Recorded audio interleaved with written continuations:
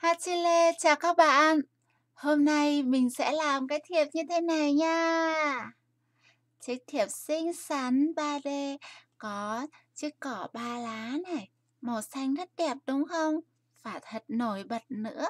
Chiếc cỏ ba lá này còn mang biểu tượng của sự may mắn đấy. Thế nên nếu như các bạn làm chiếc thiệp chúc mừng như thế này mà lại có cỏ ba lá nữa thì người nhận sẽ cảm thấy rất vui và hạnh phúc. Mình bắt tay vào làm thôi nào. Mình sẽ để chiếc thiệp ở đây cho các bạn dễ để ý nhé. Rồi để làm được một cái thiệp này, đầu tiên mình cần một cái bìa thiệp kích thước giống như thường lệ, đó là chiều rộng khoảng chừng 11 cm rưỡi và chiều dài khoảng chừng 15 cm. Rồi mình còn cần một cái bìa à, một cái bìa màu trắng đúng không? Và bìa màu trắng này là hình vuông nhá.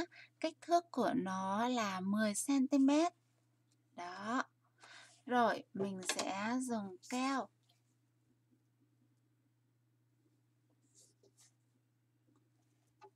mình dán cái bìa màu trắng này lên bìa màu xanh cho thật nổi bật nào. Đó. Rồi. Bây giờ mình cần một cái bìa màu trắng nữa ở phía dưới này, đúng không? Thì bìa màu trắng này sẽ có kích thước về chiều dài á, thì là ngang với lại à, bằng với lại cái ô vuông bên trên, đó là 10 cm. Còn về chiều rộng của nó là chỉ 3 cm thôi nhá. Đó, vậy nên mình sẽ dán cái bìa màu trắng này lên trên bìa màu xanh và nhớ cách một đoạn này, cách một đoạn nhỏ ở đây. Rồi. Giống như bên này đó, các bạn nhìn này, bên này mình cũng cách một đoạn này. Đó. Thì cách như vậy để tạo nên sự nổi bật về màu sắc. Rồi, mình cần thêm một cái bìa màu xanh nữa. Giống như này đúng không? Thì bìa màu xanh này sẽ ngắn hơn. Ngắn hơn. Thì chỉ cần là khoảng 8cm thôi. Và chiều rộng của nó là 4cm. Mình sẽ dán bìa màu xanh. Nối hai bìa màu trắng lại với nhau. Đây này. Đó là một cái cầu nối đấy. Các bạn nhìn nhé. Mình sẽ dán làm sao để cho cách đều hai bên, cách đều hai bên là một này. Đó. Rồi, và cách một khoảng ở dưới một đoạn nữa vuông đều với phần này nhé. Rồi. Đó. Mình cần một cái bìa màu trắng ở trên cùng nữa đúng không?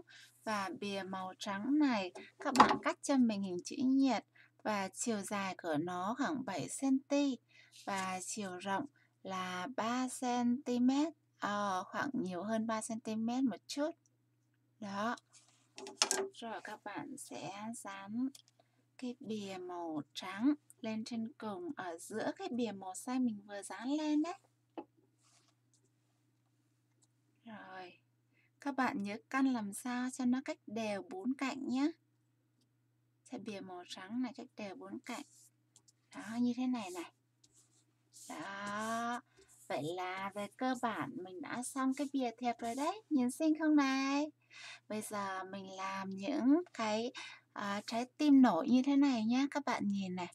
Nó có những lớp này. Đó thì nó có mấy lớp nhỉ? Nó có là một này hai này ba này và bốn lớp màu xanh một lớp màu trắng trên cùng đúng không Bây giờ mình sẽ làm hình trái tim nhé. Để làm được hình trái tim thì mình cần một cái à, hình vuông. Hình vuông này mình làm kích thước của nó là 4cm nhé. Đó, 4cm. Thì à, trên hình vuông này mình có vẽ cái đường này.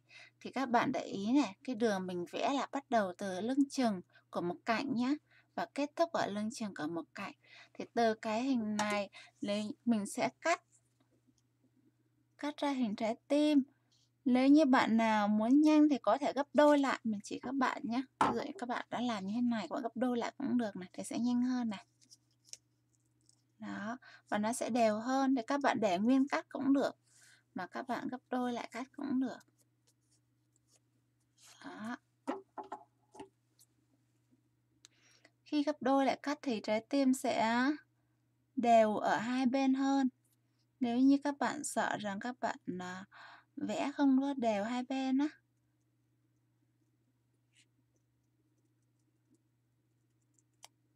Đó, mình chỉ cần cắt vậy là mình đã có được à, một hình trái tim rồi này. Đó. Làm tương tự như thế để mình cần sẽ có này, làm tương tự sẽ có được Ờ, à, bốn hình trái tim để làm cái cái cái lá đầu tiên đúng không? Đó. Thì bốn hình trái tim này mình sẽ các bạn sẽ gấp lại nhá. Gấp lại. Gấp đôi lại giống như vừa xong đó. Gấp hết lại. Rồi các bạn sẽ dán chồng lên nhau. Dán như thế nào? Đó, vậy là mình đã có bốn cái hình trái tim gấp này. Thì các bạn sẽ chỉ dán cái đường đường sống giữa cái đường giữa này này vào cái đường giữa của trái tim này. Các bạn dán, ví dụ mình làm thử cho các bạn xem nhé. Ở đây là mình đã dán sẵn ba cái hình trái tim lại với nhau rồi này. Đây này. Nghĩa là bạn dán ở giữa. Bây giờ mình sẽ làm một cái cuối cùng cho các bạn xem nhé. Các bạn lấy keo. Rồi các bạn sẽ dính cái phần giữa này thôi này. Đó, như thế này này. Dính phần giữa của trái tim thôi. Đó. Rồi các bạn sẽ dính vào giữa, đặt vào đây này. Đặt vào giữa của cái cái trái tim, những trái tim kia. Rồi các bạn sẽ miết ở xuống giữa. Đó. Như thế vậy là mình đã có được một này, hai này, ba này, bốn. Đó, bốn hình trái tim rồi đó. Và các bạn sẽ có những cái nếp, cái nếp đi ra này. Các bạn sẽ bẻ cong lên một chút để tạo thành cái nếp như vậy. Đó. Thì bây giờ mình cần một cái trái tim nhỏ màu trắng đúng không? Các bạn cũng làm tương tự nhưng mà kích thước nhỏ hơn nha. Ở đây mình làm sẵn rồi này. Các bạn có thể so sánh này. Làm sao, cắt làm sao để trái tim màu trắng mình cắt sẽ nhỏ hơn với lại trái tim màu xanh mà mình vừa cắt xong đó. Rồi mình làm tương tự nha, mình cũng gấp trái tim lại. Rồi mình cho keo vào giữa này. Đó. Đó. Rồi các bạn sẽ đặt cái trái tim màu trắng này lên trên trái tim màu xanh mà các bạn vừa mới dính xong đó. Lên trên cùng. Rồi. Làm sao để cho giữa của hai trái tim này sẽ tạo thành một đường thẳng. Vậy là bạn đã làm xong được một cái lá rồi đấy. Làm tương tự như thế thì các bạn sẽ có được ba cái lá này. Đó. ba cái lá. Thì bây giờ mình sẽ sắp xếp. À, các bạn nhớ nhé. Các bạn sẽ chờ cho keo khô. Rồi các bạn sẽ tỉa cái lá ra cho nó có khoảng cách giữa các hình trái tim này. Như vậy thì nhìn sẽ đẹp hơn đấy.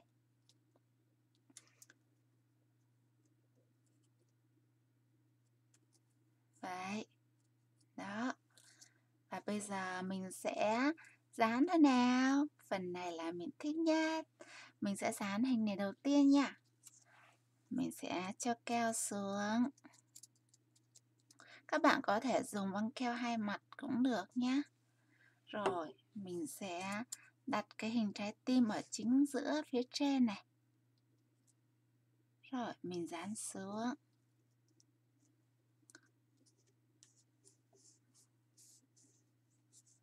Đó.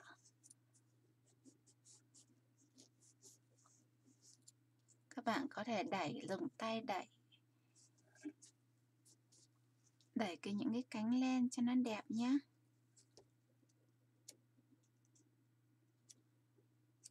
Rồi, mình làm tương tự với cánh thứ hai nào.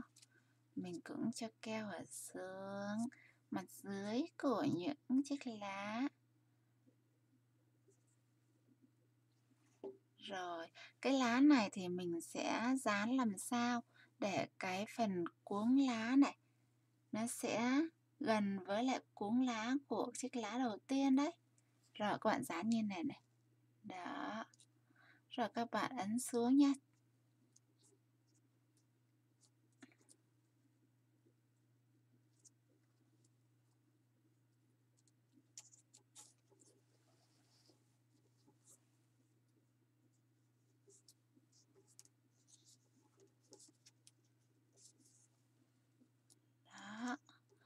Là mình đã được chiếc lá thứ hai rồi. Còn chiếc lá cuối cùng thế nào?